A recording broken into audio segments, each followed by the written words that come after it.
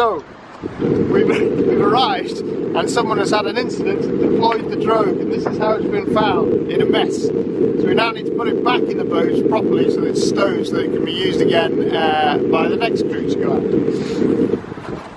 So we need to get the drogue and fold it back up neatly. The drogue is, uh, the first thing that's going to come out the bag when it's actually deployed.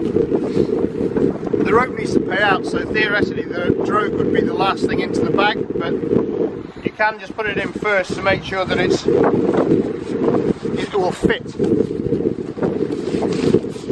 And it will help stow the rest of the rope a little bit more neatly. But then when you pack, you need to start at the boat end. So this is the boat end. That's the drogue end with the red tape on it. Not a bad idea before you do that though, especially given it's been deployed, to actually pull the rope through hand over hand like that. You just pull it through, you'll make sure that there's no kinks in it before you get it in there. So that's fine, it's nice and neat. Then you're going to stow it starting from the boat end, so you can't go any further than that.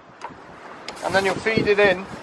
And you're literally just feeding in hand over hand, pushing the loops to the bottom of the bag which will mean that as you poke it in, it will gradually end up in a nice snake with no loops or catches or bights and then it should pay out from the top relatively easily then.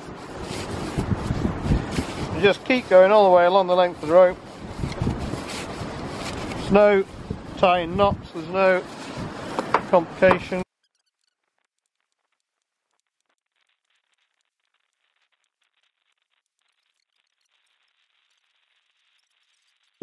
So that's us, we're on the tape of the drogue, so the drogue is now in the bag, the rope's neatly there, and when you go to deploy it, you'll be able to grab the tape, the first thing that will come out will be the drogue, which is sat there, that'll come out and then it will pay off from the drogue end of the rope and pay out neatly. Now it's just a roll top bag, there's a knife here, stays close to the boat. We're putting it inside the bag. You can go inside the bag or not, depending on how, how you feel. And it's just a roll top, so you'll just roll that down. If you push it down before you roll too tight, it lets you get the air out, otherwise you'll end up with a big balloon. Just roll it down as far as you can, flip it, and then it'll get stowed back underneath the seat like that, ready to go for the next person.